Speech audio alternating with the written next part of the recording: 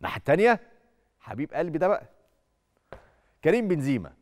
كريم بنزيما خلاص مشي من ريال مدريد. هيروح فين؟ إيه الحكاية؟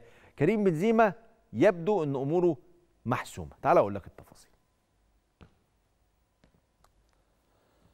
تغير مفاجئ حدث في موقف كريم بنزيما من الاستمرار مع ريال مدريد الموسم المقبل بعدما أكدت كل المصادر أن المهاجم الفرنسي لن يرحل الصيف القادم ومع انتشار الشائعات حول إمكانية رحيل بنزيما خرجت صحيفة ماركا الأسبانية لتؤكد أن المهاجم الفرنسي لن يرحل عن ريال مدريد وسيستمر حتى نهاية الموسم المقبل.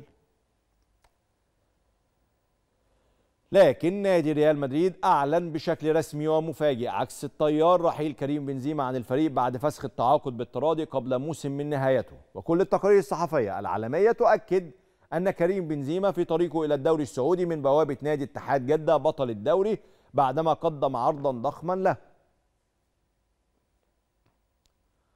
عرض اتحاد جدة للتعاقد مع كريم بنزيما هو 400 مليون يورو لمدة موسمين ليصبح ثاني أكبر راتب في عالم كرة القدم بعد كريستيانو رونالدو مع النصر. يعني خلاص كريم بنزيما قريب من الاتحاد اتحاد جدة السعودي وقريب إنه يزامل أو العكس يعني أحمد حجازي وطارق حامد وباقي لاعبي الفريق فريق الاتحاد أعتقد إحنا بنتكلم في 48 ساعة بالكثير وهيتم الإعلان رسميا عن هذه الصفقة.